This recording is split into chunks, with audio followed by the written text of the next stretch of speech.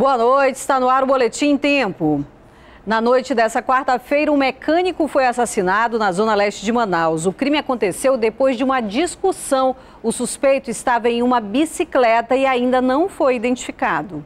A tranquilidade nas ruas é só aparente. O rapaz fica assustado, né? fica cabreiro agora. Tem mais atenção, né? A oficina onde o mecânico trabalhava abriu logo cedo. Por aqui, poucas informações sobre a vítima. Eu acho que ele mora, ele mora na parte de estrada aí. Ah, é? E só trabalhava aqui? Trabalhava. Vítima e acusado discutiram aqui na frente. Foi por volta das 7 horas da noite. O motivo do crime ainda é desconhecido. O crime aconteceu aqui na rua F do Santinês. Segundo informações de testemunhas, depois da confusão, a Daías entrou nesta rua para encontrar um amigo, mas o suspeito o acompanhava em uma bicicleta. Quando chegou exatamente neste trecho, ele sacou a arma e disparou duas vezes contra o mecânico que não resistiu aos ferimentos. Deu primeiro, aí o segundo, e demorou uns dois minutos e nós abrimos o portão. Os disparos atingiram a cabeça de Adaías Alves, de 39 anos. O corpo dele foi levado ao IML. O acusado fugiu sem deixar pistas. E um homem foi preso em flagrante acusado de estuprar uma menina de 12 anos na zona centro-sul de Manaus. As informações do caso com o repórter Juscelio Paiva. Pois é, Marcela, mais um caso, né? Desta vez, o homem foi preso. O Francimar Videira da Cruz ainda permanece detido aqui na delegacia especializada em proteção à criança e ao adolescente. O caso ocorreu ontem de manhã, no momento em que a vítima, uma menina de 12 anos, caminhava para a escola. Ela relatou à polícia que foi é, surpreendida por dois homens que perguntaram para onde ela ia. Ela relatou que estava indo à escola quando foi capturada e levada para uma casa que fica em um beco lá na área do Aleixo, na zona centro-sul aqui da capital. Lá dentro da casa, um dos criminosos que foi justamente o Francimar estuprou a menina enquanto o comparsa dele aguardava do lado de fora. Depois disso, eles liberaram a menina que denunciou o caso aos pais. Então, segundo a polícia, os pais iniciaram buscas pela área e localizaram o suspeito e acionaram a polícia. O homem permanece detido. Ontem mesmo mesmo a menina já fez o exame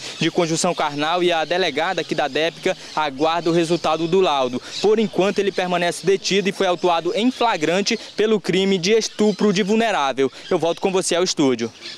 E uma opção para quem gosta de leitura é a Feira de Livros do SESC, no Centro de Convenções Vasco Vasques. O evento conta com a participação de 39 escritores do Amazonas e de todo o país.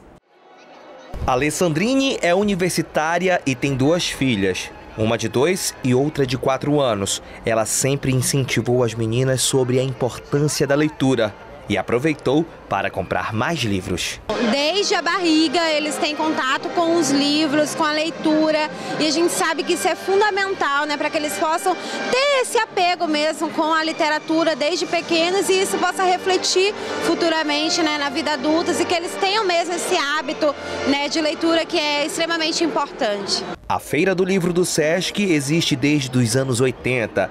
Este ano, o evento conta com a presença de 39 escritores.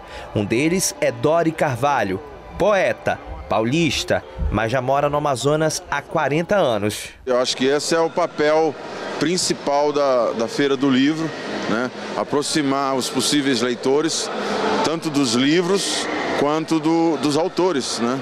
Eu acho de fundamental importância para a cidade de Manaus um evento como esse. Neste ano de 2017, a Feira de Livros homenageia Moacir Andrade. Ele que é um grande artista plástico amazonense, conhecido mundialmente. E por aqui é possível ver uma réplica do ateliê dele, localizada no bairro de Aparecida, na casa onde morava. Nós estamos já na 32ª edição da Feira de Livros e o objetivo aqui é justamente incentivar o hábito pela leitura. Hoje nós vivemos num mundo muito complexo, um mundo onde a gente precisa descobrir coisas novas e somente uma boa leitura vem proporcionar a formação do bom cidadão.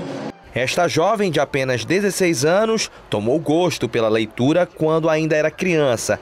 Terror, ficção e romance são os preferidos da estudante. Estou encantada, amei a feira hoje, gente, tá ótimo. E é muito bom porque para nós que gostamos muito de ler, né, aqui, e é incrível, achei muito lindo desde a entrada aqui. São 17 estandes repletos de raridades, clássicos que podem ser encontrados com até 50% de desconto, além de uma área de lazer e um espaço de economia criativa. A feira termina no sábado. A entrada é gratuita. E nesse feriado, ao contrário do que se esperava, o movimento foi tranquilo nas saídas da cidade. Segundo a Polícia Militar, apenas 1.500 veículos pegaram a estrada hoje. Logo cedo na rodoviária, pouca gente aguardava o embarque. Os destinos mais procurados eram Presidente Figueiredo, Rio Preto da Eva e Itacoatiara. Dona Maria Conceição, por exemplo, vai encontrar com outras amigas em um sítio na estrada de Rio Preto e só volta domingo. Uma energia mais positiva, né?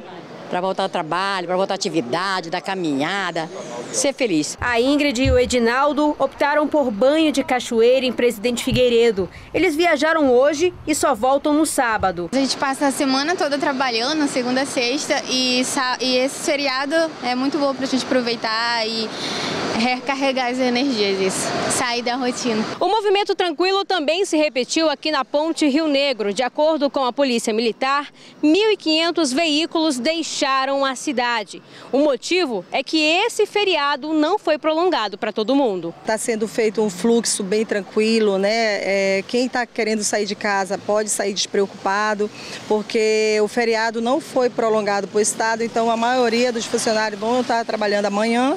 Então o feriado é bem tranquilo, até porque é dia das crianças.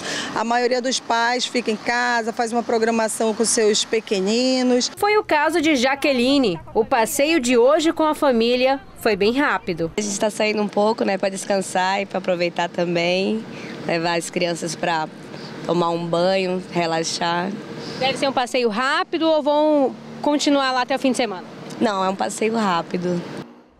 E neste Dia das Crianças não faltou diversão para a garotada da Compensa 2, na Zona Oeste de Manaus. A atividade é uma das ações do projeto social Mudadores de Rua. A recreação foi na paróquia Nossa Senhora do Perpétuo Socorro. Quase mil crianças participaram. Diversão tinha de sobra. Elas dançaram, pintaram os rostos, pularam, ouviram historinhas. Muitos pais chegaram aqui bem cedo. Você vê a alegria estampada no rosto de cada criança, a cada momento. Só a felicidade de estar aqui já é grandioso demais. É muito bom é, participar com as crianças, ter essas atividades. Elas ficam super animadas, né? Ter os brindes é muito bom. Essa foi a terceira edição do evento promovido pelo projeto Mudadores de Rua, que conta com 170 voluntários. A gente faz ações durante o ano todo e em datas comemorativas como o Dia das Crianças.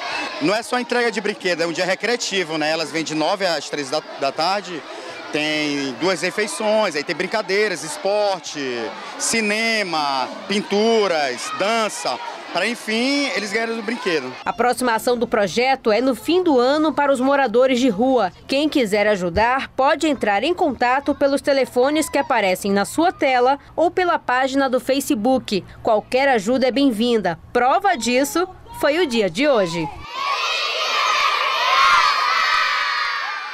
E as seleções para o Art Music 2017 já foram feitas. 42 candidatos foram selecionados. O novo programa da TV em Tempo estreia dia 21 deste mês.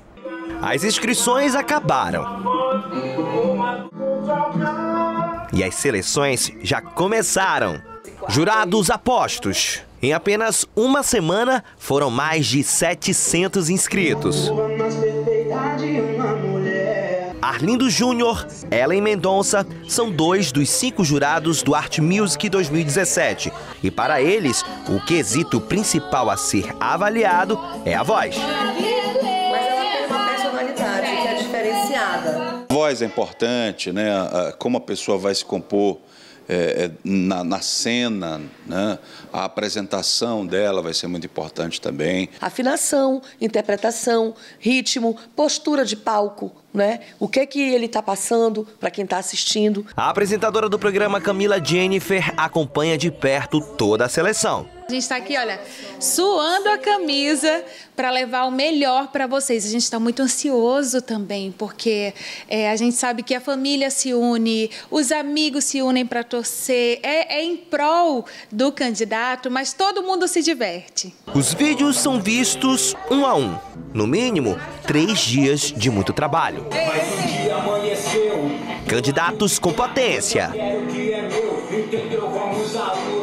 Candidatos que mostravam a cara. E acredite, outros não. Uns bem afinados. Outros nem tanto. Alguns engraçados. E olha que teve candidato que animou e conquistou os jurados.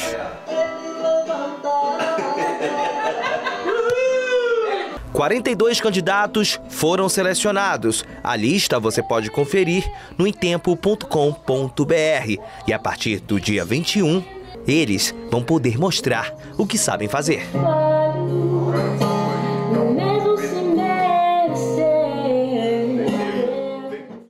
Eu sou Marcela Rosa e esse foi o Boletim Tempo.